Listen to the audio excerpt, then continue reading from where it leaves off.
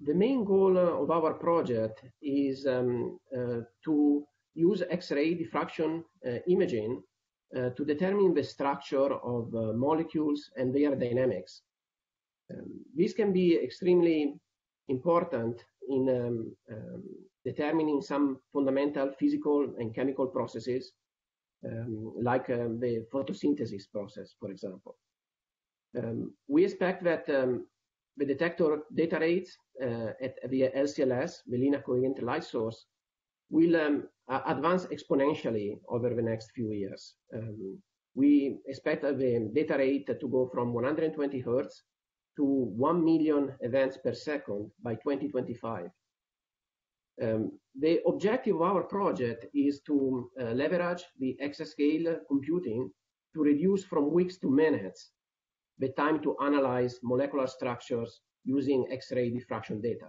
Exascale uh, will, capabilities will allow us to uh, both increase um, the analysis rate at which we can uh, uh analyze images generated by LCLS, but it will also allow us to uh, provide um, um, more details and provide more insight about the kind of analysis that we do using this data. What we are able to do today, um, what we have shown on pre-exascale machines like Summit and Cori, is that um, we are able to scale the analysis code that we have today uh, up to about 3 kilohertz. Our goal is to go up to 5 kilohertz, uh, which means 5,000 events per second, and at the same time increase um, as we move from pre-exascale machines to exascale machines, the kind of uh, analysis that we can do with this data. One of the key development that we want to be able to do um, is what we call single particle imaging. Um, this is the ability to reconstruct a single molecule uh, from uh, millions to billions of images that we expect to collect to collect over the span of a few days at LCLS um, when the LCLS2 upgrade is deployed between 2022 and 2025. Um, this will be a revolution for um, uh, what can be done at, with a free electron laser. Um, the ability to use um, the LCLS as a camera that fundamentally, through very high performance computing, will allow us to see in quasi real time the reconstruction of the uh, particles that are illuminated by our X-rays. The LCLS will um, uh, allow for the first time uh, to take um, uh, images of structures and to provide the dynamics of um, uh, proteins, viruses, uh, that today are not possible to be collected with any other technology under physiological conditions, for example, at room temperature. Our effort today is to use the pre-exascale machines like Summit uh, to do this um, uh, additional development of uh, our um, reconstruction code.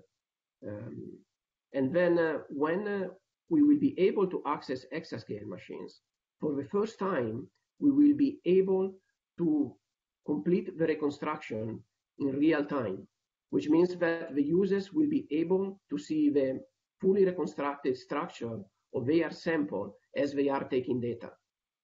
And this is extremely important for um, uh, LCLS because it provides uh, the users a mechanism to optimize their experiment so that they don't feel like they are flying blind while they are taking data. Today, uh, it can take weeks before uh, they can see the reconstructed images from the data that they have acquired at the LCLS. With exascale capabilities, we will be able to provide this reconstruction in real time. So for the first time, the users will be able to see in front of them what the data that we are collecting is look looks like. So exascale uh, will allow us two fundamental advantages uh, compared to what we have today. The first one, it will allow us to, write, to run more complex uh, code um, that will allow us a higher resolution and uh, significantly deeper insight on the um, samples that we are uh, analyzing.